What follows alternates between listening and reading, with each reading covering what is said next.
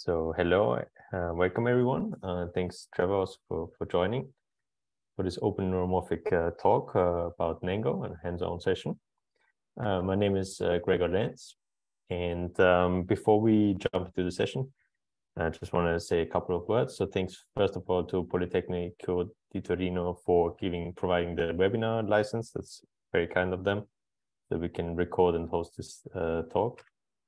Um, just want to say a couple of words uh, um, about Open Neuromorphic for those who who don't know it. Um, so this is really is a um, very new organization. I think we started some one or one month ago, something like that. Um, so it's just created by open source enthusiasts. Most of us have not met in person yet. Um, we just started to contribute to each other's projects and um, then we felt like we would like to kind of like uh, start this um, collaboration together as well. We see it as like an, a platform for open source code for open hardware for your projects as a knowledge base. And what's important is that uh, this is this spans across academia and and also um, and labs and um, and industry. And um, yeah i think trevor is also one of these uh, long-time contributors that uh, is very has a very active GitHub profile.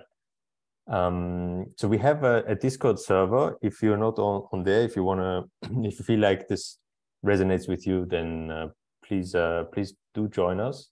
Um, um, there's some 200 people already joined, um, signed up there. So there we like discuss papers, uh, different frameworks. Um, maybe Trevor will also do us the favor answering some questions about Nengo there. And um, all of the stuff like that we do is, is you can find it on our, our, our website, open-neuromorphic.org. Um, we also write like blog posts together and like um, one particular thing that I want to draw your attention to is that we have scheduled some more talks. So um, uh, we try to keep the frequency roughly every two weeks. Um, so after this one, the next one is uh, 14th of February about uh, a new paper that came out about the forward-forward alternative to backpropagation for SNNs. Um, and uh, as you can see, yeah, it's, it's, a mixture of academia, academic, and uh, and uh, industry uh, presenters. If you think that you have something that you would like to, you know, share with the world, please also don't hesitate to get in touch. And um, yeah, and so that was a few words that I wanted to say about open neuromorphic. And we can come to to our to today's presenter, Trevor Bekolay. Thanks a lot for joining. Welcome. Um, just a few words uh, on this uh, um, presentation. So first of all, this session is being recorded, and we'll be we'll put it up on YouTube afterwards. Um, you will find the link on our website. And uh, a second thing that I want to say is that this is supposed to be an interactive session. So if um, if you have questions, um, that in like if you write them down in the Q and A, I will relay them to to Trevor. Um, alternatively, I can also basically hand you the mic, so to speak, and you, you can unmute yourself and, and ask yourself. So Trevor, hello, welcome. Hey. Yeah, for sure. Uh, happy to be interrupted kind of at any time to uh, answer any questions. Uh, I think you might have to stop sharing your screen so I can. Absolutely, yes.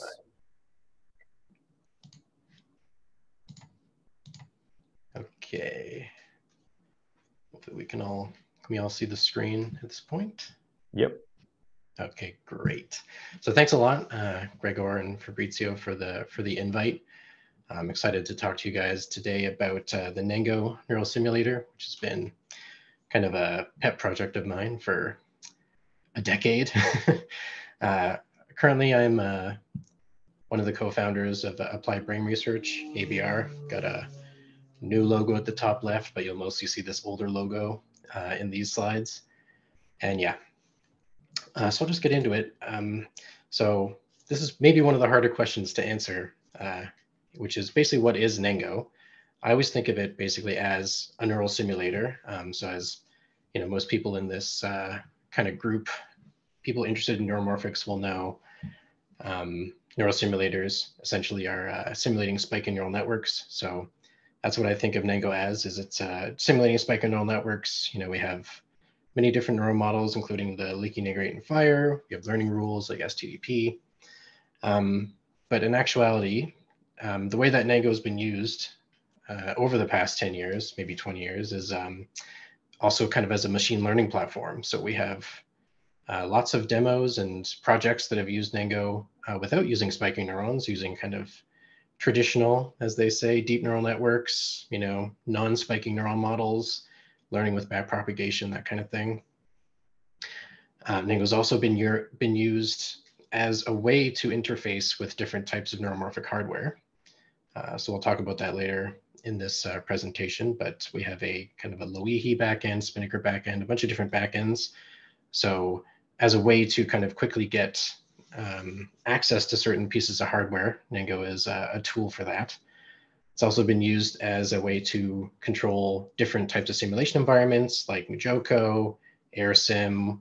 It's been used to simulate, or sorry, to um, actually drive physical robot arms and kind of the the driving motivation behind Nengo and like kind of the reason I think that it's been used in all these different ways is because uh, the goal of Nengo um, is to use ne neural networks to perform intelligent functions efficiently.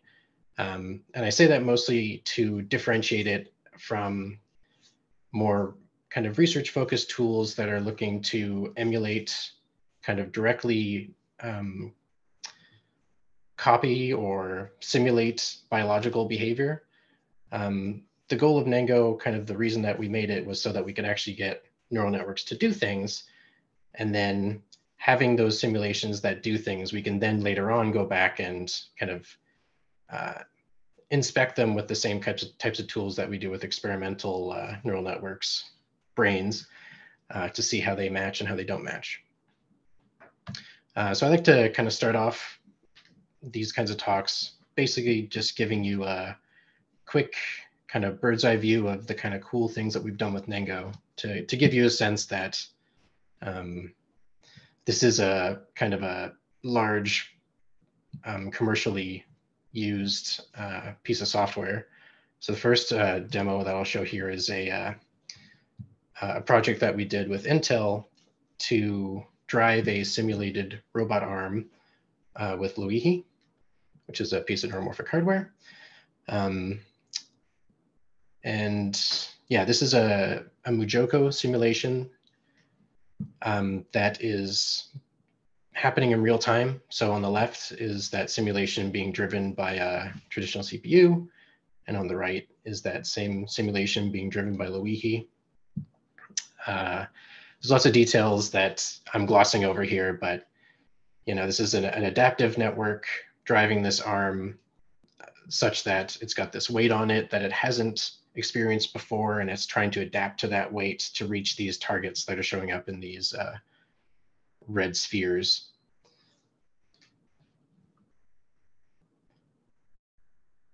And yeah, the highlight is that it does it and it does it very efficiently and quickly because of the neuromorphic hardware. We've also controlled uh, physical robots. So basically it's using the same infrastructure, this uh, the same Jaco arm, Kinova Jaco arm. Um, we've used Nengo to actually drive that arm. Um, this is kind of a the end of a series of demos, but in, in this case, what we're doing is we're we have a vision system that is seeing this uh, Santa Claus that uh, Chris is holding and the goal of the, the arm is to reach to it with the tip of the tool. Um, so the tool being an unknown weight and the tip of it being kind of an unknown offset are both things that the network has to has to deal with. It hasn't experienced this tool before. Um, so it's able to uh, overcome those those those uh, issues using our adaptive learning um, algorithms and is able to reach to those to the uh, to the Santa Claus. Um, another control example, the last control example is um, a project that we did for um, looking at uh, windmill inspection. So using kind of very similar ideas and techniques, we uh, are driving a drone in a simulated AirSim environment. And the idea here is to kind of do a sweep of, of this windmill looking for defects. So again, we have kind of a motor system uh, doing the actual control and a vision system looking at it. Um, you can see at the top right here, we have Nengo doing all this work for us. Um, and, you know, one of the reasons why this is important to, to do with neuromorphic hardware is that it gives us the opportunity to actually put this on a physical drone because we don't need, you know, these new neuromorphic systems are low power. So it means that we can actually fit it on a drone, actually carry it with a battery. Um, and that is something that we have done since this project was to uh, put it on a physical drone. Moving kind of more traditional machine learning, um, this was kind of a demonstration of one of the tools that we created to, which I'll talk about later, to take traditional neural network, deep neural networks, and convert them to spiking neural networks. So this is a, a Nengo network that is doing image classification on ImageNet. Uh, and as you can see from all these kind of spike rasters, we're doing this with spikes. And the last kind of demo that I'll highlight here is, is another project with uh, Intel's the Loihi, where we're doing keyword spotting. And this is all being done live through our kind of Nengo GUI environment. Um, the uh, if you had audio for this, you'd hear someone saying aloha, and when it hears aloha, it will accept it. You can see with this decision, and if it hear, hears something else, then it will not accept it. You can see kind of as um, audio is coming in, these uh, spiking, spiking neuron layers are processing that information and making a decision based on it. And just as a kind of demonstration that this is all being done, you know, this these aren't kind of, some of those demos are sped up, but in general, this is all being done kind of in the way that it looks like. There's not really any tricks behind the hood there. This is a kind of a simple dynamics demo where we're doing a Lorenz attractor network in the Nengo GUI, and it's very performant. We're actually throttling it down to one time speed here because uh, otherwise it looks ridiculous. Um, okay, so hopefully that kind of gave you a sense of the types of things that we've been able to use Nengo um, to do since we have developed it. Uh, so now I want to kind of take a step back and talk about how we got to this point, and then uh, what um, tools Nengo currently offers. So going way back, back to 2003, uh, when I was just starting my undergrad degree, um, the first thing that could kind of be considered something Nengo-like was a tool called NESIM, produced by uh, Chris Eliasmith, who is the head of the C Center for Theoretical neuroscience at the University of Waterloo, and now is the uh, co-CEO of Applied Brain Research. So although he, he won't show up much on the rest of these slides, he's basically overseen everything that, that I'll be talking about today. Uh, but in his uh, PhD, he uh, wrote a book with uh, Charles H. Anderson called uh, Neural Engineering, which gave a framework for basically developing functional spiking neural networks, um, which we'll talk about later in this talk. So he created this uh, MATLAB program called NESIM, still available on the MathWorks file exchange if you want to check that out. Um, and one of his uh, his first PhD student, Bryan Tripp, uh, kind of built on that. Later on, made another uh, MATLAB tool called Nemo that also brings the neural engineering framework to MATLAB. Um,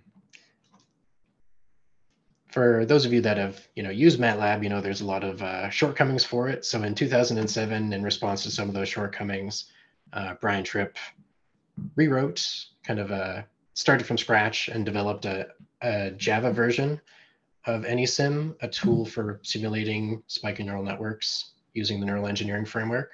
It was originally called uh, NEO, which stands for Neural Engineering Objects. And uh, later I don't actually know the reason, but they uh, switched it to uh, Nengo a bit of a shorter, easier to say name, I suppose. So Bryan did the initial Java implementation. Shu Wu was a, an undergrad student who wrote the, the, the GUI, the graphical part of this, uh, this tool. And Terry Stewart, who was involved in both of those things, also kind of developed a Python scripting layer using Jython, which uh, basically the second that he created that interface, it became kind of like the only interface that anyone ever used because writing the Java code directly was uh, a little bit cumbersome compared to what you can do with uh, Python scripting. So when I joined Chris Eliasmith's lab at the University of Waterloo uh, in 2009, we were still using this Java tool. Uh, we were developing some very large networks. We were trying to run things on GPUs. We were trying to run things on uh, SpiNNaker. There were lots of things that were kind of happening that we wanted to do that was difficult to do with the Java tool. So in 2013, I um, led the development of a Python version of Nengo, which is basically the version that when you say Nengo, I think most people think of, and is basically everything that I'm going to talk about in the rest of this talk is uh, based on this Python version. Um, so myself and a postdoc at the time, James Bergstra, um, we again started from scratch, kind of took the API that the Jython layer had and uh, improved on it, I think, uh, and developed uh, what, we'll, what we called Nengo 2.0. Um, Eric Hunsberger was also very uh, instrumental in that process. And um, you know, at this point, I just kind of want to highlight that uh, I'm going to show some faces on these slides, but at this point, Nengo has been developed on by so many different people, and uh, you know, I'm very thankful for everyone that's contributed to the project um, and who's supported the project in various ways. And yeah, what I'm talking about, you know, today would not be possible without every one of those people. So, kind of in order to get to uh, to show you how those kind of interesting high level demos came to be, um, I want to talk a little bit about how the uh, this new Python version of Nengo was architected such that we could extend it in ways that we couldn't before. And uh, the main things that you need to know about the architecture of Nengo are kind of encapsulated in six main objects uh, five of which we call the front end of Nengo, ensembles, nodes, connections, probes, and networks. And then one main object called the simulator is what we call the back end of it. Um, the builder and model are things I'll talk about because they're not, you know, core parts of the architecture, but they've ended up being very helpful. So I'll talk about them. Um, but it's the strict separation between the front end and back end that's made Nengo a tool that we've been able to build on since creating it in 2013. Um, you know, the front end is is where people are actually creating models, saying, "I want this many neurons that are connected in this way," um, and the back end is what takes that front end description of a model and generates the data structures that it needs to run that on whatever hardware you want to run it on. And the strict separation between the front end and the back end is why we can take all this work that we've done to create interesting models on the front end, and then with uh, not no effort, but minimal effort, run it on something like Nengo, uh, something like Loihi, even though when we originally designed those uh, networks, it wasn't with the intention for them to be on the, on the Loihi uh, hardware. So just kind of a brief description of these, these objects. Uh, and these are all Python objects. So again, nothing too special about them. And I, you know, will reiterate again that if anything I'm saying here uh, wants, if anyone wants any clarification about this kind of stuff, yeah, feel free to uh, uh, write a comment and Gregor can uh, can interrupt me and I'll, I'll try to answer. Um, so the ensemble is a population of neurons um, every neural simulator's got to have some way of representing neurons and the ensemble is ours. Uh, this is the icon that it looks, uh, what it looks like when you use the uh, Nengo GUI. Uh, and yeah, the, the core things about neurons uh, and ensembles, you need to know how many neurons are in there, what type they are. Nengo includes um, a bunch of types built in like lifts or tanh neurons, which you can make into spiking neurons with various things like the Poisson spiking class. And uh, if you did have something like a noise process that you wanted to inject, you would do that here. Uh, I'll talk later on about what this dimensions property uh, argument is. Um, if you're doing something that does not use the neural engineering framework, then you could ignore that. Um, and yeah, we have some kind of in progress work to make the uh, neural engineering framework more optional, uh, but I'll talk about that later on as well. But uh, yeah, this the ensemble I would say is a pretty straightforward encapsulation of uh, population of neurons. Um, nodes are kind of where um, I think Nengo has like th this is kind of the reason why Nengo's been able to do a lot of what it does, uh, because a node is essentially a part of the simulation that just runs an arbitrary Python function. This is like not something that was easy to do in previous versions of Nengo. Um, and, you know, when you say being able to run an arbitrary Python function, it seems like uh, you can kind of do anything and that's because you actually can. And like, it's been kind of surprising to me that uh, people have been able to do as much with nodes as they have been able to do. Uh, but in any case, kind of the typical use cases of a node is to provide uh, input to a neural uh, simulation, non-neural inputs, uh, run functions that you know you don't want to implement with a neural network, route signals between different parts of your model. So if you had, you know, a vision model and a motor model that you wanted to link up, there's a good chance that a node would be involved there. And yeah, when you are connecting to external processes on your computer or devices connected to your computer, you do that through a node. Through a node. Um, the only argument that's required is uh, output. And things that you can optionally specify are the size in and size out of that output, which is the dimensionality of the NumPy array. So, you know, the, the simplest node is one that just outputs a, con a constant value and you can just pass in a list or a NumPy array to be that constant value. You can have functions of time. So like all other neural simulators, time is a kind of core central thing of, of how Nengo operates. It's not like a TensorFlow where you have to uh, handle time yourself. Nengo handles time but uh, you can have functions of time. So you just pass in a function that accepts t, which is your float time, and you can return a function of that. Uh, you can also take in inputs from other parts of the model. Um, you always have to take in time in case you need it, but you don't actually have to use it. So you can have a function like this that takes in a two-dimensional value and just multiplies it together, returns as the output. And one thing that happens a lot in these networks that you might not think is that important, but uh, turns out to be is uh, pass-through nodes. So these are nodes that basically do nothing, but they shuttle data from one part of the network to another. And um, to use those, you pass none as your uh, node output.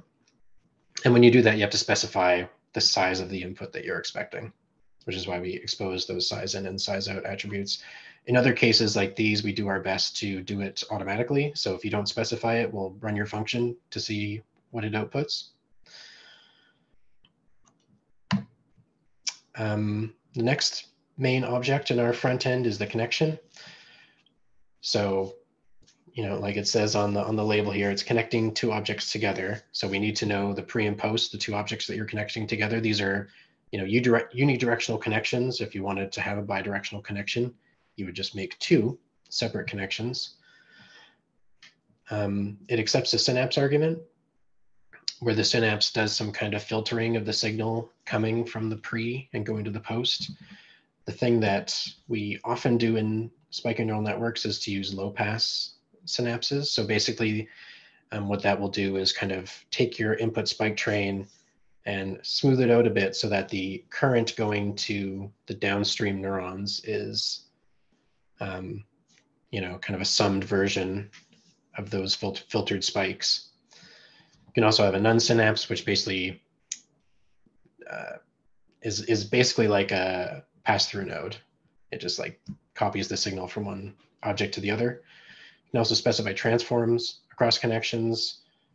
So in this example here, we're connecting a node to the first two neurons on this ensemble and we're going to use a transform of one minus one. So you're getting that signal being sent to the first neuron and then the, the negative of that to the second neuron. You can also do sparse connections through passing in a sparse transform. If you want to build convolutional neural networks, we have a convolution transform that handles all that stuff. Um, and we, we also have kind of a short form. If you are using a low pass synapse, you can just pass in a float and we'll automatically call low pass on that. Um, the last, or no, the, yeah. So probe is another front end object that's important because it uh, basically is a way of marking what parts of the simulation you want to gather data from. So you pass it in a target object that you want to gather data from. You tell it what part of that object you want to get. Um, the attributes that you can probe depend on the target, and each target has a probeable attribute that you can query to see what is uh, to see what um, what can be probed. Um, there's a sample every argument that defines the the rate at which you're you're sampling that probe which is super important for things like weights because their weights can be super big. So if you're going to sample it on every time step, if you're sampling it every millisecond of a 10 second simulation, then you are going to over, you're going to flow out of your memory pretty quickly. And just like the, uh, the connection, you can have a synapse across a probe um, to get a filtered version of the, uh, of the uh, thing that you're probing. So yeah, the last object on the front end is the network. And the network is just basically a simple container for all of these other front end objects, including other networks. And it's basically a way to organize your model to uh, compartmentalize parts to say, you know, these ensembles are dedicated to doing vision processing. These ensembles are dedicated to doing some other part of the network um, just a way of, of grouping things. It's also a way of um, providing uh, providing kind of pre-built models to other people. So you can write a function that just returns a network that does something interesting and then make that function available to someone either by you know putting it on PyPI or just giving them the file and then that's something that they can use in their simulations as well. And that's another big part of how we've kind of grown the Nengo ecosystem. Uh, the syntax for doing this is kind of an interesting Python thing, which is we use context managers so that if you are inside the context of a network, so you say with that network, then anything that you create inside that with block, like if you create ensembles, connections, nodes, those are uh, going to be stored within that network. Sorry, Trevor, can I just uh, stop thing? Yeah, for sure. Stop you for a sec. I think that there was someone who tried to uh, unmute themselves, but uh, I'm not sure if they still want to ask a question. Uh, I'm not sure what's the best way to do it, but if if attendees can uh, react with by raising their hands, for example, then I can unmute themselves uh, given that we're not that many people like uh, i'm happy to you know just like uh, unmute you and then you can just uh, uh, ask answer the question yourself uh, ask the question thank you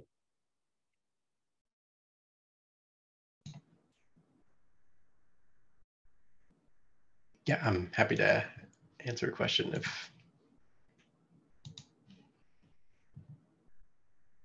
there is one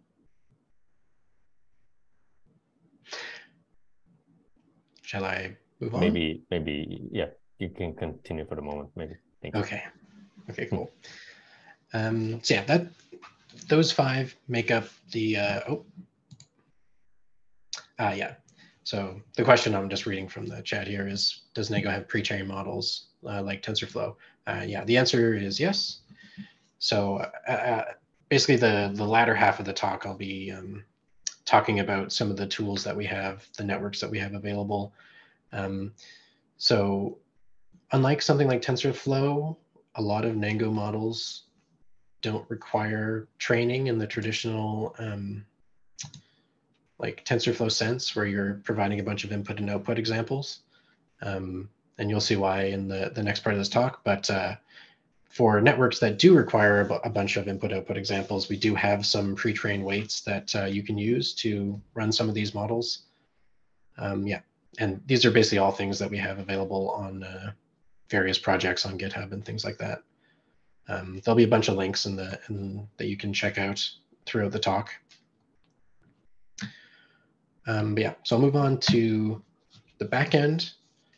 So the only object that is uh, that a, a backend needs to implement is the simulator. And this is just an interface for running a simulation, collecting the data from that simulation.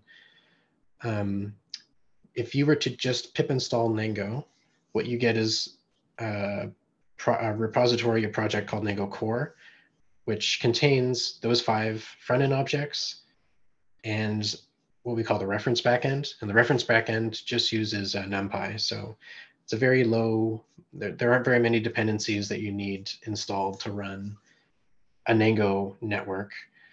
So when you're constructing the simulator, all that you need to pass in is the network. Um, optionally, you can specify a particular uh, DT, the time step of the simulation, which by default is one millisecond. All of the times that in Nengo are seconds. Uh, you can also pass in a seed.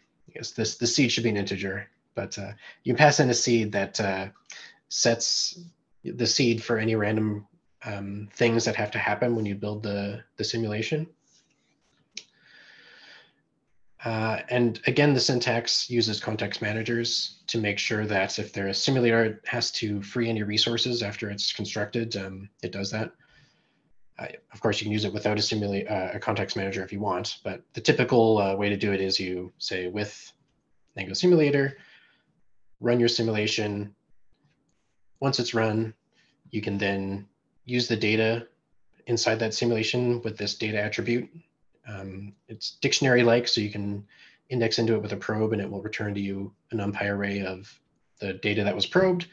Uh, T-range gives you the actual um, time steps that were run by the simulation. It's kind of a convenience thing because, you know, plotting the output of a simulation is something that basically every example, everything we do needs to do. So uh, the T range helps with that. Um, so the way that that simulator works in general is dependent on the type of hardware platform that you're working with. But uh, what we did for the reference simulator has ended up being kind of helpful for other simulators. So what the reference simulator does is it generates a collection of signals and operations, operators from the network, signals being data, basically NumPy arrays in the reference backend, and operations being things that you do to that data. And operations have tags such that you can, such that we can order the operations, the operators so that everything happens in the right order so that you're not overwriting data that you need in a, in a downstream step.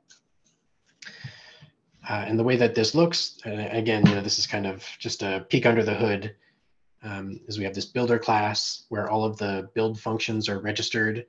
Uh, and we do it this way so that if you wanted to, in your model, you could override the builders that the reference builder uses. But in any case, what it looks like is you would register your builder to build a particular Nengo object. Um, and that's a decorator on a function. That function takes in this model object, which is where the signals and ops are stored. And then your build function is basically generating those signals and ops, doing whatever you need to do to set up the uh, the operations that your that your network needs on your particular uh, piece of hardware. So, like I said, this is uh, we've architected things in this way so that we can generate a bunch of things or, or rather users and people that are creating models can do a bunch of things without having to ask us as the Nengo developers to, to do things. So if people want to develop frameworks and algorithms, just build interesting networks, they can do that just by creating their own uh, Python scripts that create networks. Um, hardware developers can get access be able to run all these Nengo models just by creating a simulator. They don't have to create their own front end. They can they can use an existing Nengo model, just write the build process such that um, such that any Nengo model is now accessible to their hardware. Um, and yeah, depending on the complexity of the hardware, sometimes this is really easy to write a backend because you can literally just kind of like implement your own signal and ops inside your backend. And then in other cases, it's more, much more difficult. Like we're like for Loihi, um, there's a bunch of custom stuff that we have to do to uh, interact with that device. Can, can um, I ask you a question? Oh, just uh, yeah, for sure. To ask a question myself. Um, so how do you deal with uh, different implementations of you know, let's say, let's take the simple LIF neuron, leak integrated fire neuron. Um, if this is like uh, implemented different differently on different hardware, um, like uh, how do you how do you deal with let's say the the proliferation of um, neural models and what, what's what's available on the different hardware? Yeah, so the way that we essentially deal with that is um, we kind of have a distinction between things that are kind of compatible with the reference backend, things that we kind of expect to be, you know, two floating point precision rounding errors, the same with the reference simulator and another simulator. So we have like an OpenCL backend and a Nengo DL, which uses TensorFlow. These backends are ones that we expect to match a reference Nengo simulation exactly or almost exactly. And then there are backends which we you know, make no claims about how accurately this is going to match a reference Nengo simulation, but uh, basically say that, you know, we're going to use what the hardware implements and we think that there's a reasonable path forward for matching the qualitative behavior, even if the quantitative kind of exact spikes coming out of your model are different. Um, and a lot of the ways that we handle that are with uh, the frameworks and algorithms on the front end side. Cool. Thank you. Um, another question in the chat here is whether Nengo can help for on-chip training. So if you're actually, if you're dealing with a, a piece of neuromorphic hardware, um, whether or not you can access the learning rules or the, the, the learning procedures on that chip depends on the back end, basically. So as an example, um, the uh, Nengo, the reference Nengo, Nengo simulator deals with um, a few unsupervised learning rules and, an, and, a supervised learning rule called PES, P-E-S. Um, and just like with the neuron models, as Gregor was talking about, you know, we don't expect that learning rule to necessarily be supported by every piece of hardware. Um, you know, all of these abstractions are, are leaky in the sense that, uh, oh, lagging here. I think we can still hear you, but okay. your screen is, uh, yeah, your camera is yeah. Okay. Yeah, my camera's frozen. I'll just try to restart that. Um, yeah, in any case, the, uh, you know, if, if the chip has a learning rule um, that you want to access, and it's not part of the Nengo front end, then what I would expect is that the backend would expose that learning rule as a front end object and then implement it on the back end. And so then you might have a situation where there's where there's an on-chip learning rule that uh, works in you know a particular backend, but it doesn't work necessarily in the reference simulator unless we choose to implement it. Uh, Is, hopefully um, that... there's there's another question. Do you include FPGAs in as a backend? Yeah, we do have a Nengo FPGA backend. It's kind of a a specific project that wasn't really designed to be a generally a general purpose like take your your Nengo network and put it on an FPGA. It was um, basically a way of offloading some of the learning, which tends to be some of the more expensive parts of a simulation to offload it to an FPGA. Um, so we have the Nengo FPGA project that works on uh, DE1 boards and PYNQ boards. but uh, there is some research and also some a few like commercial endeavors to try to um, make kind of all of Nengo accessible on an FPGA. But uh, yeah, I will say they're they're not done yet.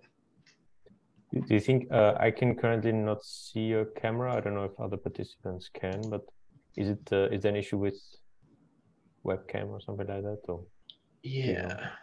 I've tried stopping and starting. Uh, perhaps I'll leave and come back. Is that yeah? Sense? If if you yeah, may, I think that would be nice to okay. also have your video if, if you don't Alrighty. mind. What could go wrong? I'll be right back. okay. Yes, in the meanwhile, if you want to type more questions, I mean, obviously, there's a bunch that I have certainly.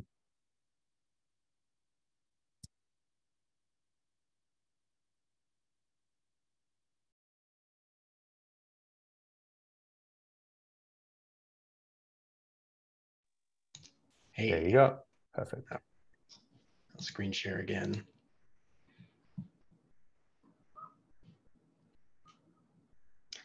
Okay. Um, I'll proceed. I think uh, hopefully I've answered the questions uh, to some satisfaction. yeah, I think there's one more. Uh, basically, which uh, which hardware backends do you actually uh, support? Uh, maybe you're going to come to that, but one is a question about do you support GPU, CPU, and TPU? Yep. Uh, so I will come to that later on the talk, but the short answer is that, yeah, we support general purpose CPU, GPU. Um, there's a Loihi backend, a SpiNNaker backend. There was at one point a Braindrop backend, but I'm not sure the status of that. Um, but you know, the ones that are kind of most important, I would say, are the CPU and GPU, which I'll talk about later on.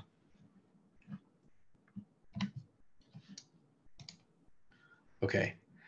Cool. Thank you. Um, sorry. Yep. Thank you. okay. okay. Great. Uh, yeah. So, like I say, on the on the front end is where we're able to like incorporate frameworks and algorithms into this. Uh, one thing that I've sort of uh, talked about, or you've kind of seen on some slides, but I haven't talked about in length, is uh, this neural engineering framework. Um, and uh, it is kind of a core component of Nengo. So even though, even if you're planning not to use uh, the neural engineering framework in your models, if you're doing something kind of a straight deep learning model, uh, it's still kind of useful to know a few terms about the neural engineering framework. Uh, but if you are interested in kind of building functional spiking neural networks, then I would say the neural engineering framework is uh, the best way that we have seen to do that. Um, so it's based on three principles. The first principle called representation is that um, the idea here is that a population of neurons represents a vector of numbers. So the reason why the ensemble requires a dimensions attribute is because that's the dimensionality of that vector. So you have, you know, n neurons in your population in your ensemble, and those neurons are responsible for representing d dimensions of information. Um, the radius tells you the range that you expect those values to, to lie between. So the default typical range is one, so you expect numbers to fall between minus one and one. Then there's a few other things you can specify, encoders, inter intercepts, max rates. I'll uh, talk about those by way of example to show you what this looks like in the Nengo GUI.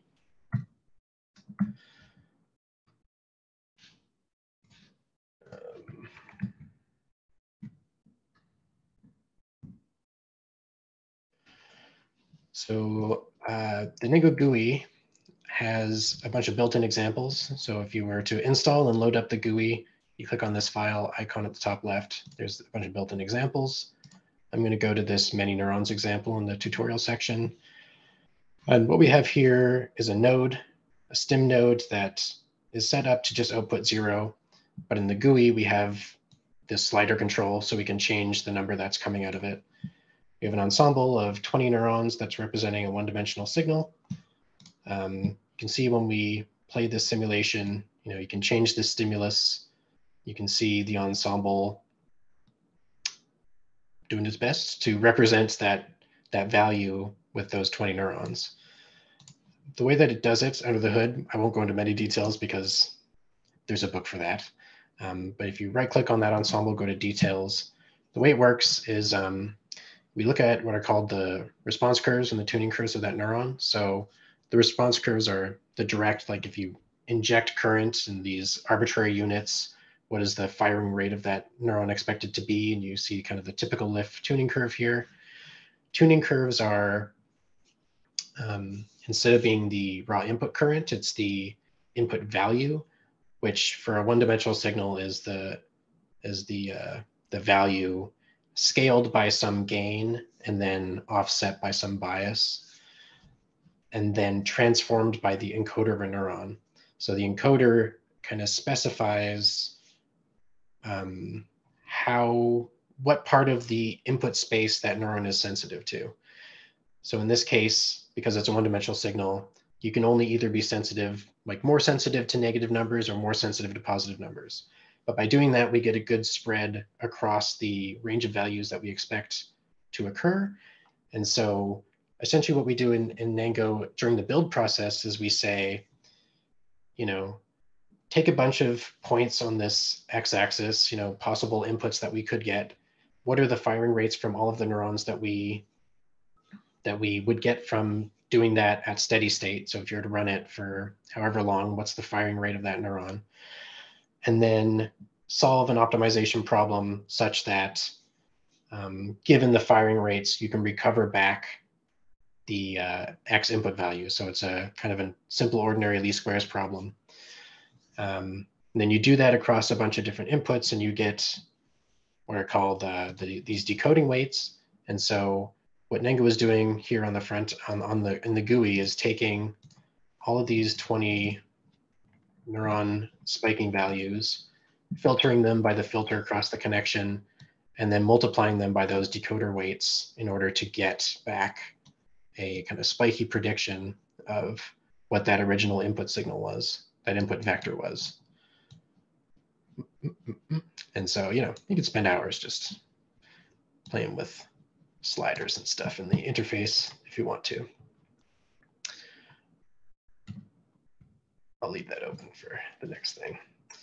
I will say that if if you don't particularly care about the NEF, um, there was a proposal that we made in 2019 to kind of sequester the NEF parts of Nengo out into their own into their own spaces and make it easier to use Nengo for kind of typical machine learning networks uh, but we have not got around to that.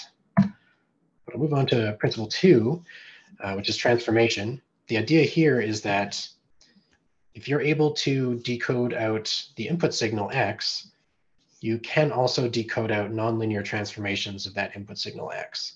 And then given the decoding weights that come from that, you can trans, trans uh, you can transmit that information, that transformed information from one neural population to another um, either in a low dimensional space by decoding to a vector and then encoding that vector into the next population, or if you're concerned about biological plausibility and you want to do kind of low level learning rules or something else, uh, some pieces of neuromorphic hardware require full, you know, n by m connection matrices. If you want to do that, you can actually multiply the decoders by the encoders and get a full connection weight matrix like you would uh, kind of manually specify if you didn't have something like the neural engineering framework. So what happens, the, the way that this is implemented in Nengo is across a connection and also in some senses across a probe. When you make a connection, you can pass in a function which takes in a function that uh, given the x coming out of your pre, how are you going to transform that to your post? So if you have a two-dimensional input x you can do the product of that to make a one-dimensional output. Um, and then Nengo will do the work during the build process of figuring out the connection weights, the decoders and the encoder, sorry, the decoders, the encoders are all randomly assigned, but the decoding weights that will, um, that will transmit that transformed value to the next population. Um, you can play around with, with different solvers if um, I would say this is kind of more of a, a research uh, function, but in some cases, the default L2 least squares solver isn't what you want, so you can swap that out. You can also um, give either how many evaluation points that you want to do, how many X values that you're gonna gonna check, or you can give an explicit list of evaluation points. Uh, and that's kind of interesting because if you do that, then you can also specify as your function instead of a function, just give it your outputs. So do kind of a supervised learning problem where given all of these X evaluation points, here are the Ys that I expect, and then Nengo will do what it can to uh, compute that function. Um, so as an example of that, I'll load up the multiplication tutorial, which is number nine. And we have a very sim similar uh, setup here. We've got two nodes as our stimuli, um, just two numbers, then a third population here, C, that is a two-dimensional population that's taking in one of those values as its first dimension and one of those values as its second. It has to be done this way because the uh, the product requires, you know, it's a nonlinear transformation of both of those values. So you couldn't do it across separate connections. Um, and then out, out of that C population, we're, we're computing the product of those two.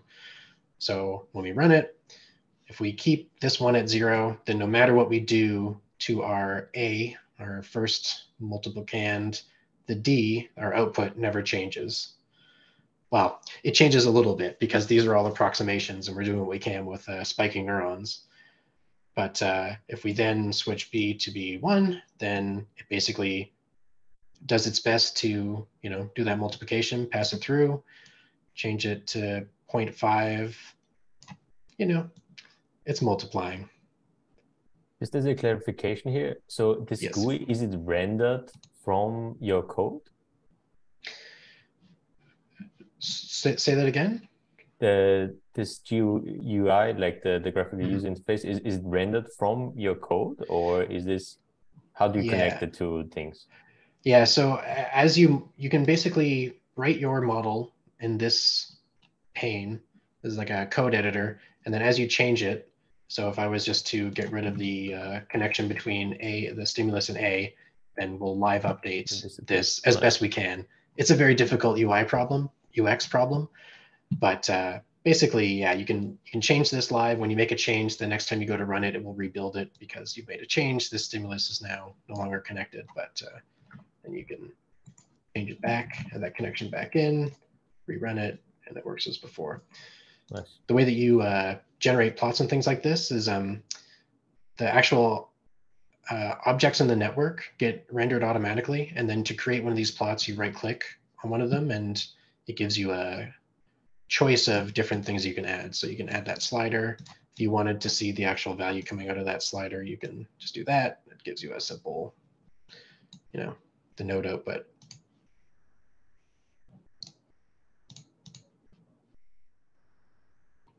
Any other questions about uh, these two kind of short examples?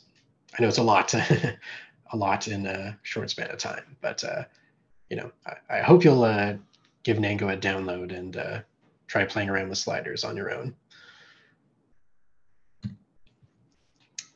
Uh, but I'll move on to the third and final principle of the NEF, which is dynamics. And so this principle basically says you can take one of those vectors inside of ensemble, treat it as the state in a control theory system, and implement nonlinear dynamical systems by uh, connecting certain parts of the model recurrently. So if you're a control systems person, a dynamical systems person, then uh, you can use all of your math pretty straightforwardly with uh, the NEF and with Nengo.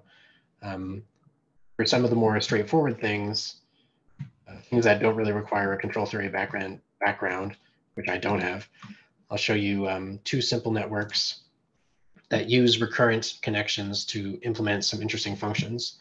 So this is, we call the memory network, but essentially all it is is um, this B ensemble connected back to itself with a somewhat long time constant on the low pass filter, and then the input value um, being transmitted uh, with a scaled down so that it's essentially doing integration over time. So as I send in a stimulus, um, the A value is constant, and then the B value is integrating that constant A. So as you kind of bring it down, you can see the B trending down over time. Bring it back up. You can stop it when you get to the top, and it should, if it's, you know, done the uh, optimization problem well, then it should keep its value up here kind of indefinitely if it falls into a good uh, sweet spot. So that's one kind of simple dynamics example. Another one that I will show is the is an oscillator. So this is the same idea. We have a, an ensemble here, X, that's connected back to itself. The uh, main difference here is that the function across that connection is, uh, and this is a two-dimensional ensemble, I should say. The function across this connection now is quite a bit more complicated where we're sending the value in one dimension to the other dimension and vice versa to implement a cyclic oscillator. So when you start off, you don't actually need to give it a little kick, although you could. It just uses kind of the random spiking behavior of neurons to get itself out of its uh, the fixed point at zero. But then once it gets kind of kicked out, then it uh, just starts oscillating around in a circle in the uh, decoded space. Although, you know, if you were to look at the, the firing pattern of these neurons, you can also kind of see some oscillatory behavior, but you know, the way that these are connected is not through manually specifying connection weights, it's by solving this optimization problem. Okay. Any questions on that? That's um, kind of what you need to know about the NEF to uh, understand Nengo. So I think we have a couple. Uh, here's okay. one, a long one. Great. so yeah, I'll just read uh, it out. Yeah, Eduardo says, I, should I read it out or? Yeah, go ahead. So is this field divided in a part which investigates it from the hardware view, such as analog electronics, for example, does there exist a subfield of the research in hardware which is investigating the potential of quantum hardware for developing neuromorphic hardware? Um, is there such a thing as quantum neuromorphic computing? Yeah. Um, so I'm also, yeah, I'm not a an expert or I don't have that much um, experience with the hardware side. But the short answer is that most of these subfields do exist. Um, so for sure, using analog hardware is something that uh, Nengo has been used to do. Um, so that's definitely a thing like the Braindrop backend. That that was a piece of hardware that used uh, analog neurons. Um, as far as quantum computing, quantum hardware is concerned, um, not really aware of any actual attempts at making kind of quantum neuromorphic hardware. Not to say that there aren't any, I'm just not aware of any one of the kind of more interesting um, pieces of hardware that I have heard about and um, seen some research from is on optical devices, so devices that use light to do computation. Um, and those have uh, kind of interacted a bit with, um, with Nengo. Okay, nice, thank you. Cool. So in kind of the remainder of our time, I just want to give a sense of the kind of tools that exist in the Nengo ecosystem. So basically, if there's a part of this that kind of was interesting to you, I'm hoping to give you some pointers to what projects you might want to look into and do a bit more research on. Most of them have either kind of associated papers, associated research, or at the very least have a bunch of tutorials and examples that you can run through. Um, so on the front end, thinking about uh, parts of the ecosystem that, that kind of deal with these main five front-end objects. Um, Nengo Core itself, when you download it, comes with a few networks. Um, I won't show these examples, but uh, one of them is called the ensemble array. So the idea here is that if you have a very high dimensional ensemble, some things like solving for decoder, decoder weights become computationally intensive and sometimes too computationally intensive. And in a lot of cases, you don't actually have interactions between all the dimensions in an ensemble. So the ensemble array splits that up so that you can represent a very high dimensional vector with multiple uh, lower dimensional subensembles um, and still have ways to compute functions off of those. Um, the product network is interesting because it's essentially what I just showed in that multiplication example. It's just a, a network that multiplies, well, it can, it can do any element-wise product to equally sized vectors. Um, the interesting thing about, about the product network is that it's based on a bunch of uh, research that was done by several people in the lab, but especially Jan Gosmann, who, uh, you know, basically, if you do this naive implementation, you try to do, um, you try to calculate the product across this space. You know, some some parts of the space are represented more than others, and when you do a bunch of analysis, you know, you can see that you know you don't do a perfect job of of multiplication, even in the ideal case of uh, a very simple neural model. And it's because all the error kind of accumulates at these polar coordinates. And so what you can do is you can orient the encoders towards those polar elements so that um, you have more neurons attuned to the part of the space that the product tends to fall into. And when you do that, you can get a much more accurate computation of the product, of the element-wise product in a, with uh, neural networks. And I, I highlight this mostly because I think it's an interesting example of how different neuromorphic computing is to traditional computing. Of course, the way that you calculate a product, maybe on a very low level transistor level, you know, has some choices and interesting things you can do on there. But if you're just programming a computer, you don't really think about how a product is is computed. Um, but when you're developing a, neur uh, a neural network, especially a spiking neural network, to do something like an element-wise product, you do have to do some interesting investigations into how to do that the best way possible. Um, there's more networks that you can see in our documentation there. Um, so take a look at that if you have a chance. Um, one project that came out um, kind of around when we were developing Nengo in the first place in 2013, or developing Nengo 2 rather, um, that was mostly developed by Terry Stewart and Jan Gosmann. Um, it's called uh, Nengo SPA. So SPA stands for Semantic Pointer Architecture. And this is another framework kind of in the same vein as the NEF, but even one level higher in the kind of conceptual space. So the idea here is to implement a vector symbolic architecture with the NEF, where the NEF itself is, developed, is uh, implemented with spiking neurons. So basically giving us a way to represent high level conceptual symbols with spiking neurons. So the basic idea behind SPA is that symbols or concepts are associated with a high dimensional vector, which we call a pointer or a semantic pointer.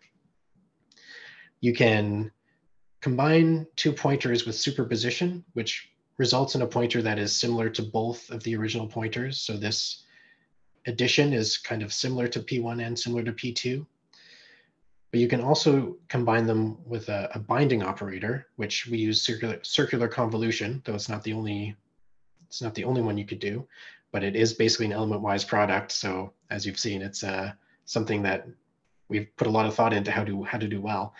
Um, but you can take two pointers, you compute the circular convolution, convolution of them, and you get a new pointer, which is not actually similar to either of the original pointers that you put in, but can be used to recover the original pointers through an unbinding operation. So in this case, we'll take that pointer that we got out of the convolution of P1 and P2, P3, convolve it with a pseudo inverse of P1. And with that, we get back P2 plus some noise because this is a, a, a lossy operation. It's not, you're not going to perfectly get back P2. Um, but it essentially gives you a framework through which to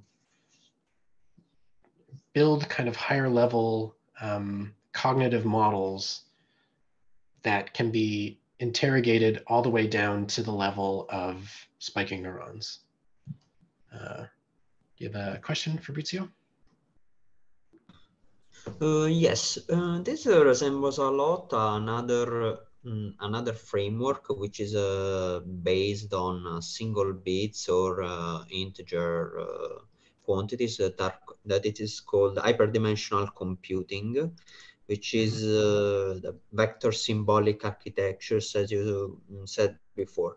So in this case, instead of having uh, mm, let's say normal quantities like integers and so on, the hyperdimensional vector would be made of spiking neurons, right? Mm -hmm. Okay. Yeah, it's, and, uh, it's similar to that idea. Yep. Uh, yes. Uh, in your research, did you find any differences in terms of performance uh, with respect to that or uh, something like that? Or did you do a comparison? Um, so for sure, when the SPA was kind of devised back in 2013, there was a, a, you know lit review of the vector symbolic architectures that existed at the time, and the one that um, this VSA that was used uh, was the only one that seemed like it would actually scale to a human-sized vocabulary. Uh, so you can look at the papers that were published around then to um, to compare because they do a comparison between uh, that VSA and other ones that were available at the time. Uh, I'm not, I'm not intimately aware of the one that you're just talking about. Whether or not that's if that's a new one, it's possible that it could have a lot of the similar scaling properties that uh, that Nengo SPA uses. Um, but uh, but yeah, so you'd have to. Uh, and I'm not, I'm not sure I don't, I'm not aware of anyone who's kind of gone back to the implementation of SPA to see if other architectures would be um, would be more efficient. I know that uh, Jan has implemented a second VSA within Nengo SPA. Um, so kind of the the data structures and things like that in Nengo SPA, the networks could still be used with a different VSA and it still work.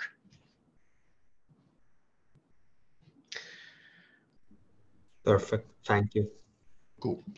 Um, so when we originally developed SPA and integrated it with Nengo, uh, we used it to make this kind of very high, very high level, high dimensional model called Spaun. So this was uh, published in Science, and it's is basically a full end-to-end -end spiking model where on the front end we have a spiking vision system we have some action selection mechanisms on the inside with kind of a simulated uh, basal ganglia thalamus system. And then on the motor side, we have a spiking network that is driving, in this case, a very simple two-link arm. But you know, since this is 2013, so even simulating this, which was simulated on the Java version, uh, was very computationally intensive and took hours to generate to generate, you know, milliseconds of simulation. And so since then, we've you know done a bit of work extending this to other tasks. So um, I do encourage you to kind of watch these, check out these videos because there's voiceover on them, kind of explaining what the task is. But essentially, they're doing cognitive tasks of like, I'm gonna I'm gonna show you a list of numbers. Okay, now tell me what was the third item in that list, and the the goal of Spaun is to to write that in this task. You can see it doing some like quote unquote thinking up here in these thought bubbles. Um, so yeah, uh, this is kind of our way of saying, you know, putting our kind of foot in the sand to say, you know, these methods that we've been talking about, the SPA, the NEF, these things are, you know, do work and can be scaled up super high to, to human level intelligent behavior. Um, we have updated Spaun to work on Nengo 2.0. Uh, this this is still a sped up video. It's not. Uh, I wouldn't say it's a fast simulation by any means because there's millions of neurons in it, but uh, it's still something that you can actually um, simulate in our uh, GUI. Um, moving on, another part of our front end ecosystem that is very recent actually. Um, uh, Aaron Voelker kind of, I think in like a week or so, developed this uh, uh, project called Gyrus. And the idea of Gyrus is to make it even simpler. You know, in my opinion, the Nengo syntax, the Nengo API, because I mostly uh, kind of architected it, seems very simple. But you could make it even simpler by basically using NumPy syntax and under the hood translating that into Nengo calls. So it's a project called Nengo Gyrus. So just as a quick kind of example of this, there are some things with Nengo that are more difficult to do than others. Let's say you wanted to compute an outer product. So taking two vectors and rather than saying, you know, collapsing it down that down to one dimension, blowing it up into all the possible permutations of that uh, product. If you wanted to do that in Nengo, you could do that with this, uh, you know, nested for loop. Run that simulation, do a bunch of probing, and you'd get your outer product.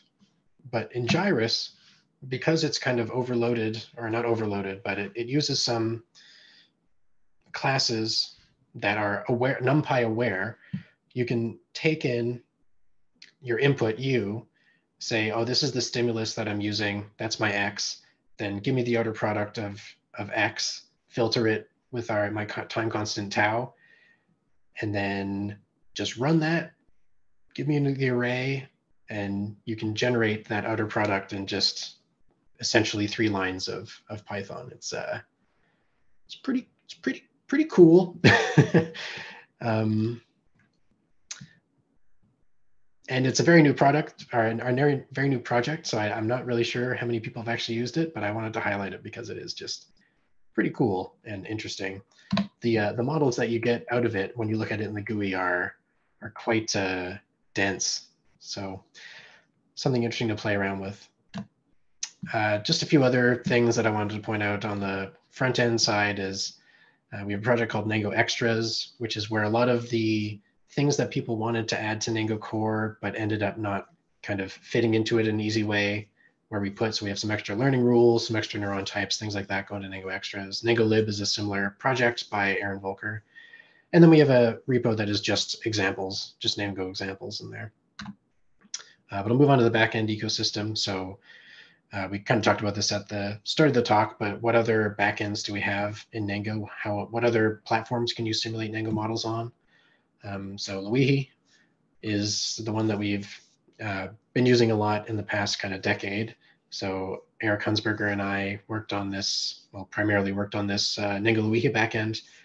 Uh, in the ideal case, you know, if uh, you happen to have a simple model, all you need to do is change your Nengo.simulator call to NengoLoihi.simulator, and then you've got a model that's working either on real hardware or on an emulator that is included with Nengo Loihi. So if you don't have access to Loihi hardware, you can still uh, pip install and try out this project. And what you'll be doing is kind of emulating uh, Loihi. I should say this is all for Loihi 1.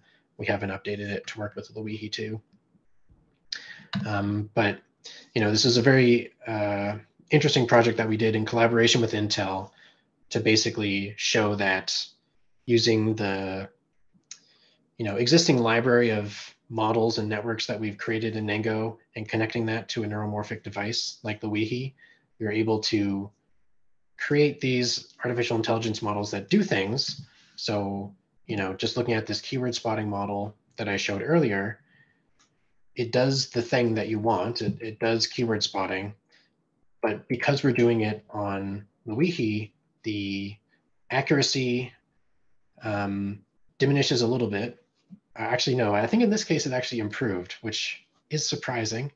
But in any case, it has good accuracy, uh, but it takes, you know, 110 times less power than if you were to run this on a traditional GPU.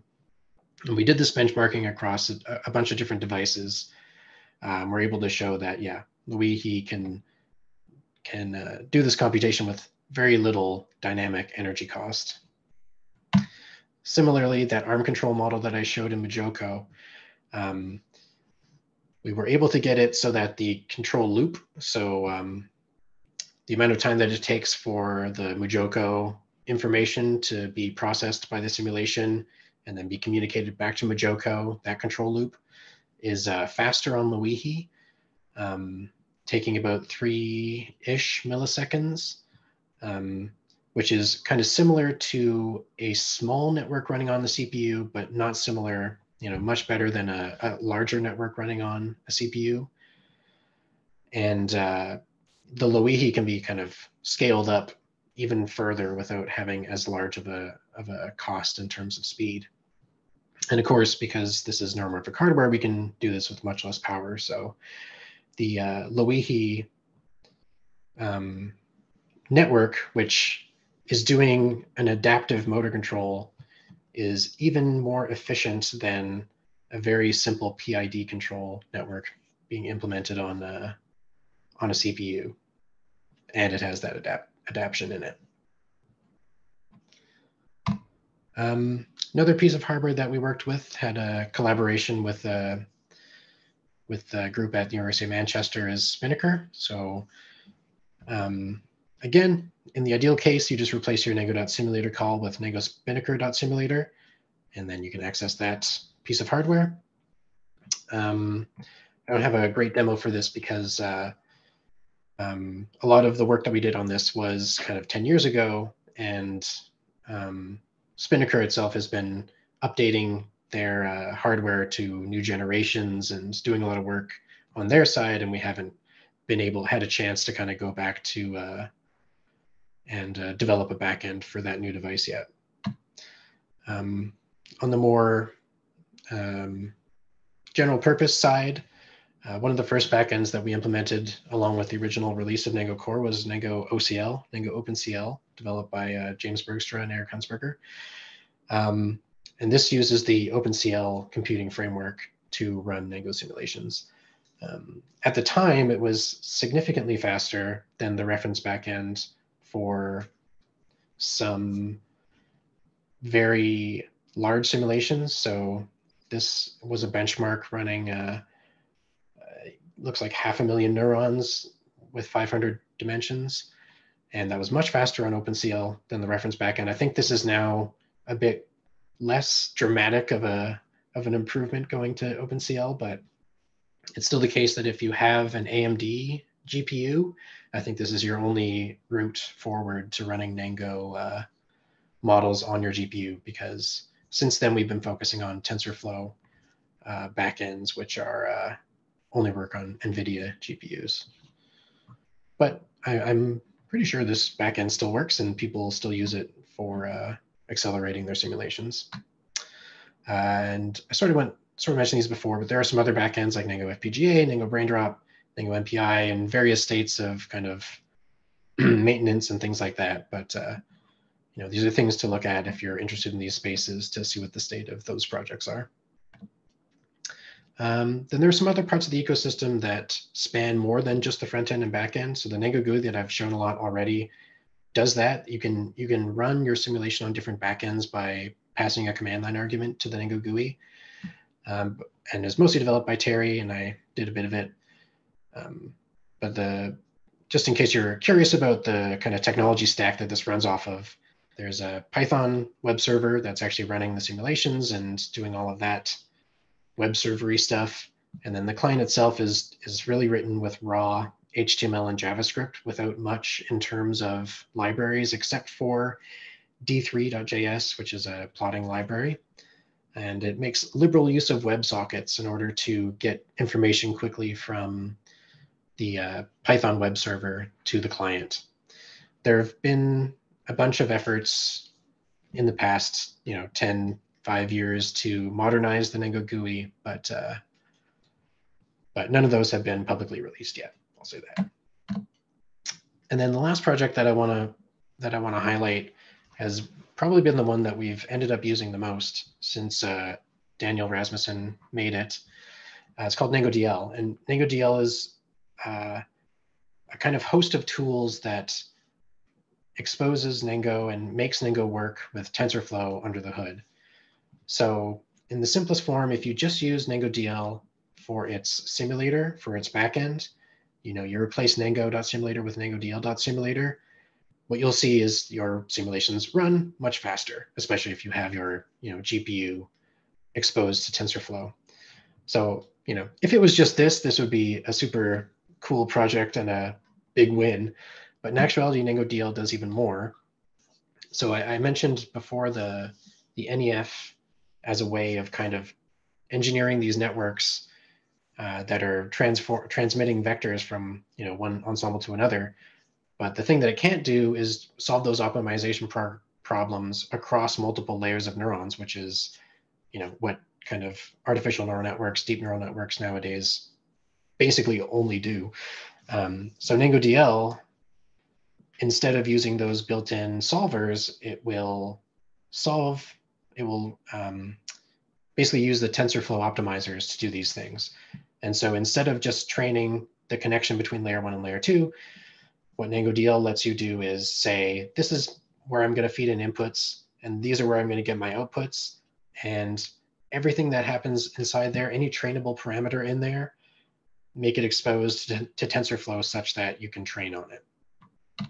And the way that this looks is, is actually relatively simple if you have your model in, uh, in Nengo, is you, uh, you know, just produce your model as normal, create your simulator um, with the Nengo DL simulator, and then you can call train, and it will, you know, solve all, all do all those optimizations for you.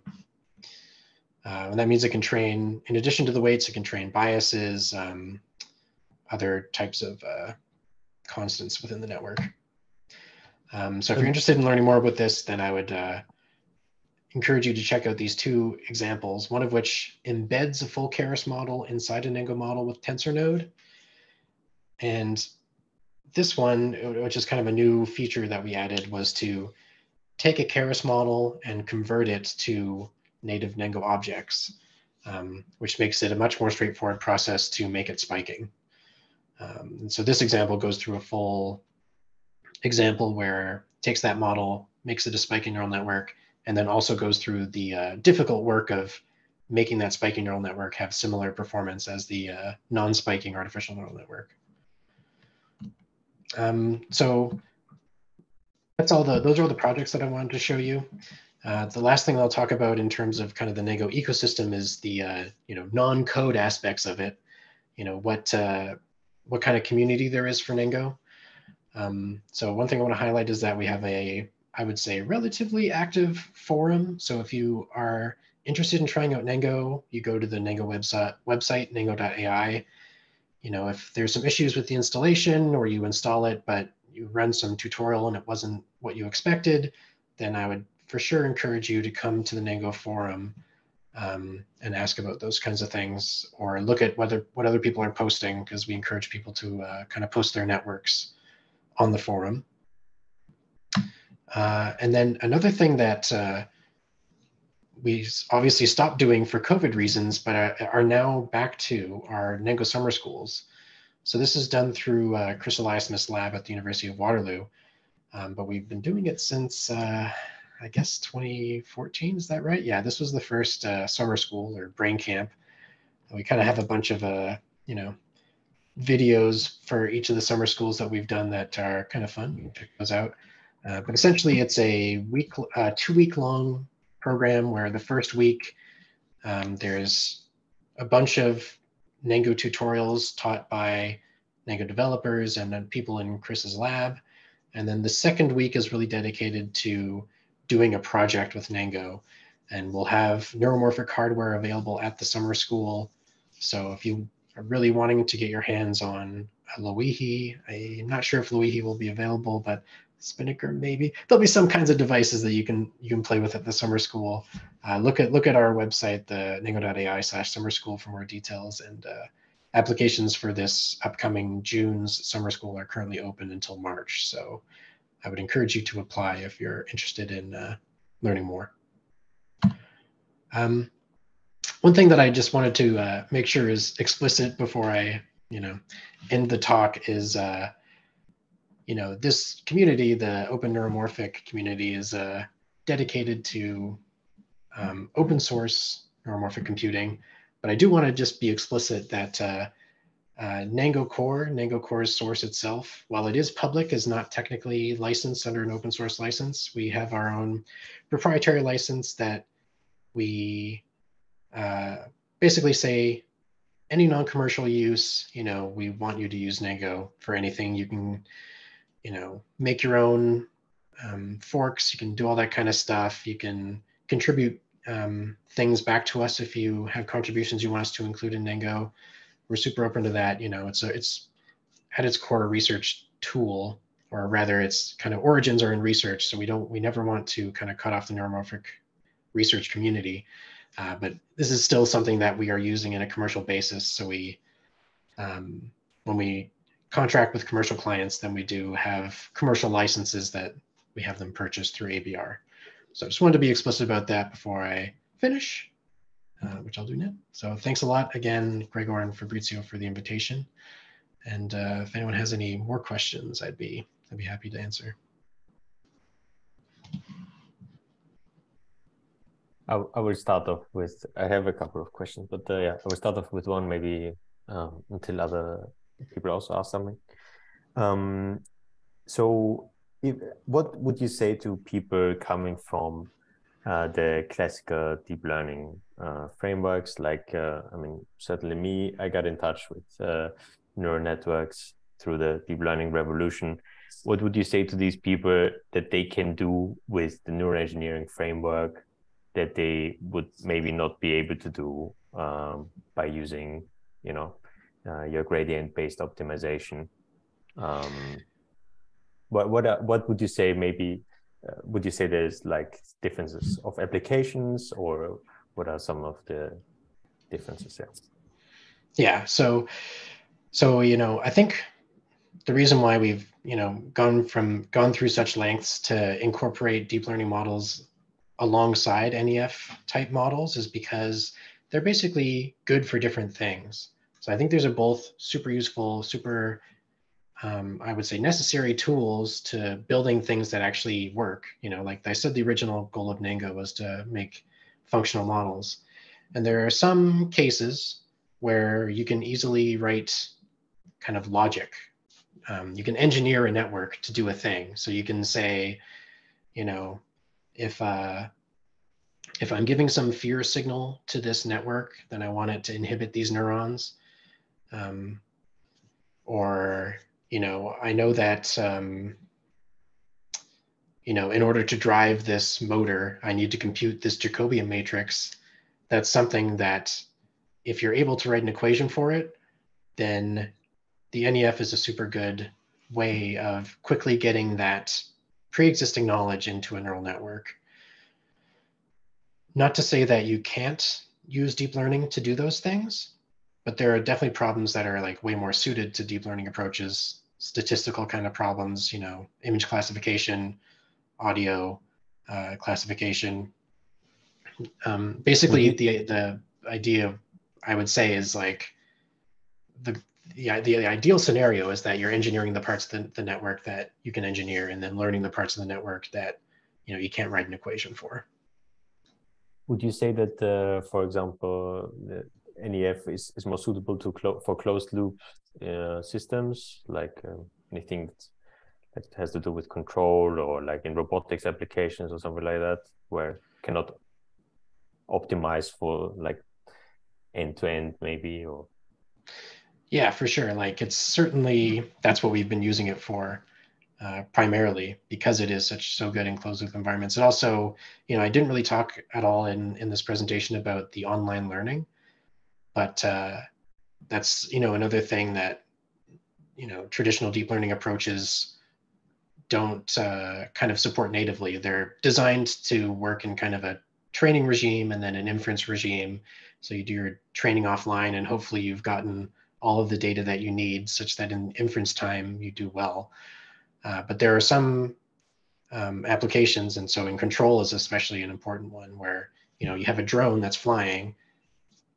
If it's flying outside, there's wind, and that wind is going to change over time. And so um, the NEF gives us a way of accounting for that, for the forces of wind through online learning that uh, you know, not saying that there aren't approaches that you could do that are more kind of traditional deep learning based, but uh, but basically, our we've gotten ours to work.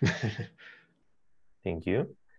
There's a question by Said. Uh, there are many approaches to neuromorphic computing, like Nengo, for example. How to start and implement it in uh, a specific or intended hardware. So I guess. Yeah. Mm -hmm. Um, so yeah, it's a good question because um, like as far as where to start, like yeah, like you know, the the the easiest way to start, in my opinion, is to just do a bunch of examples. So starting with um, you know, you do a bit of a scan of the neuromorphic computing systems that are available. Um, most of them have some kind of introductory tutorial or example.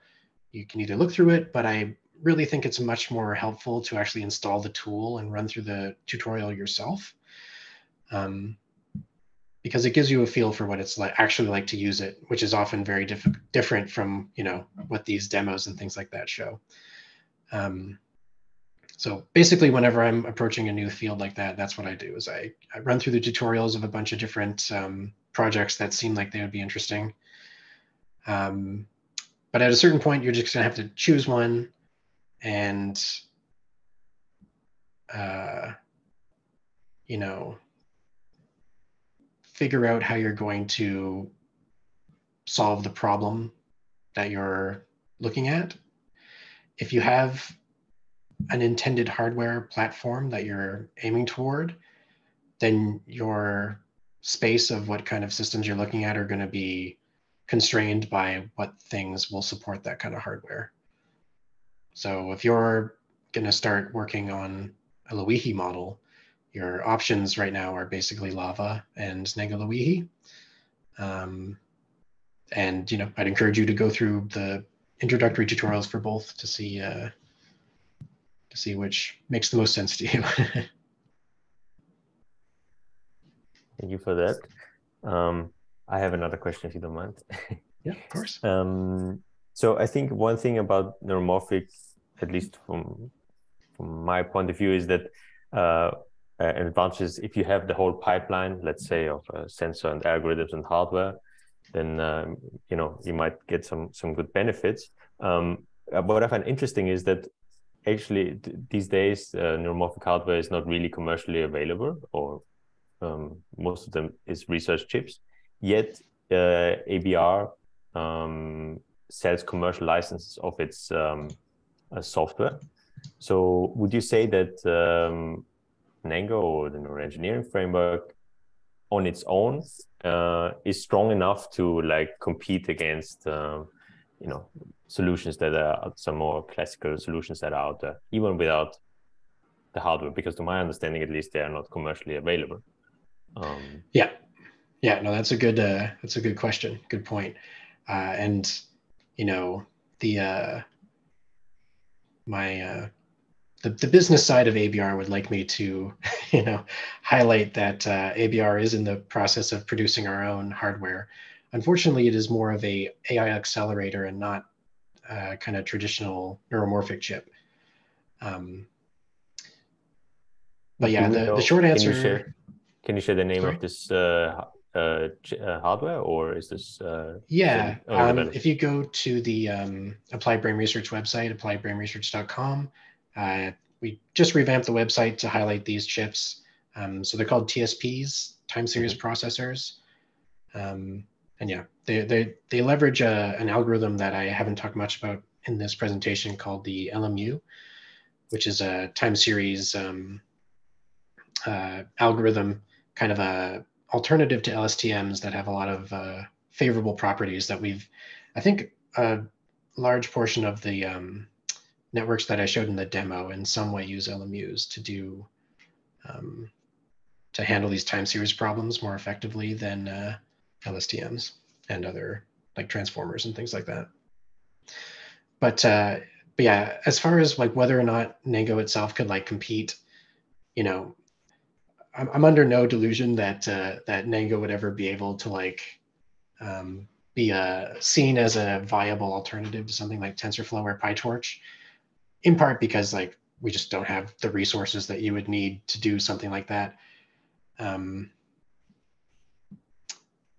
whether or not like i think if you're interested in like the idea of neuromorphic computing even without hardware Nengo is i would say a very attractive development environment to build models that you know you can use to do research that you can use to compare to experimental results to say you know if we make this model with these assumptions then um,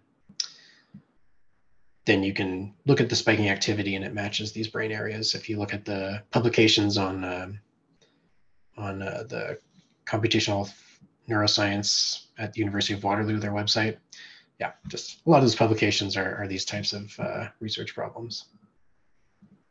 Nice, thank you. Um, there's another question by Said. Uh, suppose I want to start with Loihi hardware, supposedly with Nengo. Mm-hmm. Where mm -hmm. where would they start with? Yeah, so if you go to the uh, Nengo website, nengo.ai slash um, you can get started um, because if you install NengoLoihi, you get a Loihi emulator with it. So it'll give you a platform to start playing around with it without having to uh, engage with Intel. Um, of course, if you're gonna if you're serious about using Loihi, then you do need to uh, contact the uh, INRC, the Intel Neuromorphic Research something uh, community. community, yeah, yeah. So if you send an email, they have a, an email address you can email, uh, and they'll talk to you about getting access to uh, Loihi hardware. Um, and in the meantime, you can you can use the NengoLoihi emulator and then if you do get access to Loihi hardware, then moving your model from software to hardware is just a matter of uh, setting a different flag. Uh, that's true of Loihi 1. Of course, if you're talking to the INRC, then most likely you're going to want to start learning about Loihi 2, uh, in which case, yeah, I would start going through the Lava tutorials while you're waiting for access.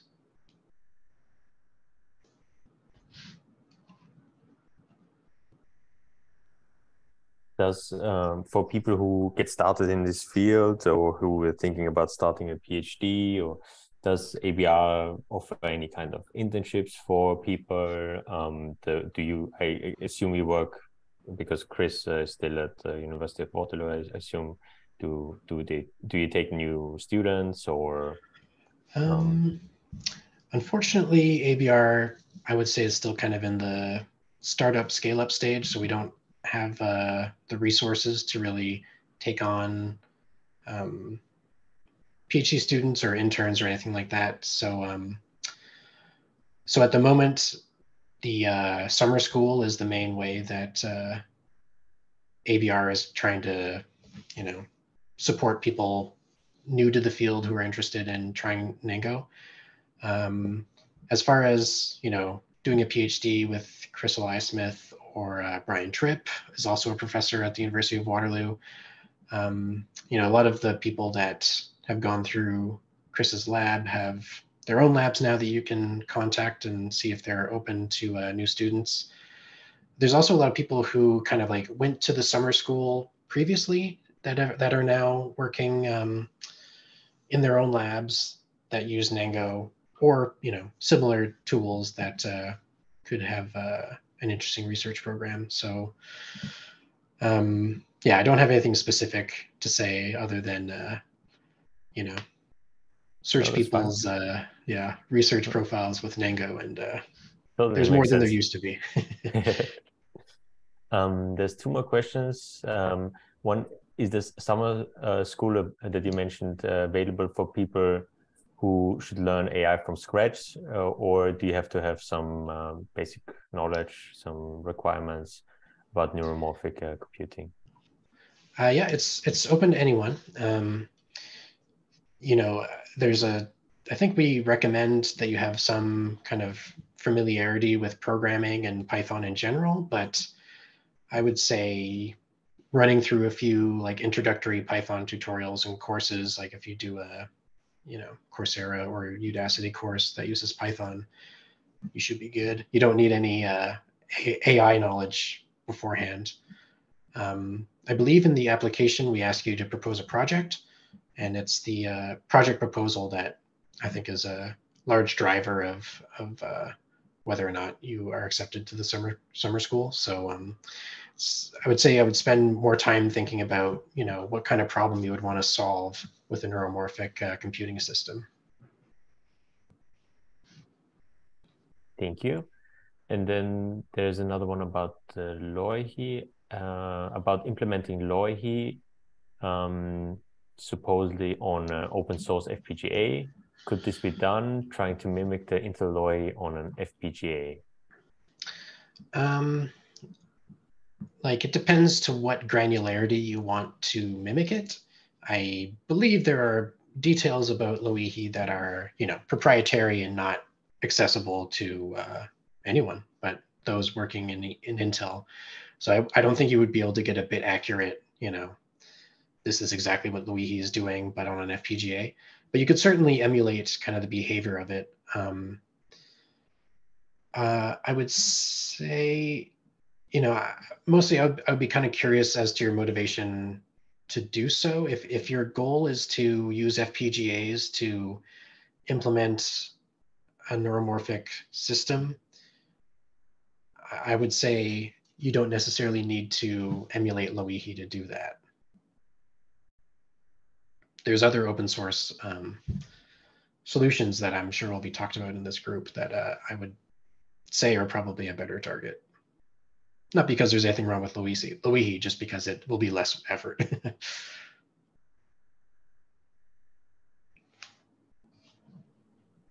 okay, thank. Thanks a lot. So if there's, I think, um, there's no more questions, then I would like to thank Trevor uh, a lot for this very interesting talk. It's really cool that like you have like YouTube videos for all your projects. like it's really good. It's always good to showcase uh, what you what you can do. Um, as a, as we as I said in the beginning, this talk talk uh, is going to be uploaded to to YouTube, and um, yeah, then you will be able to post a link in the events page. Great. Thanks again. Thanks again for the opportunity.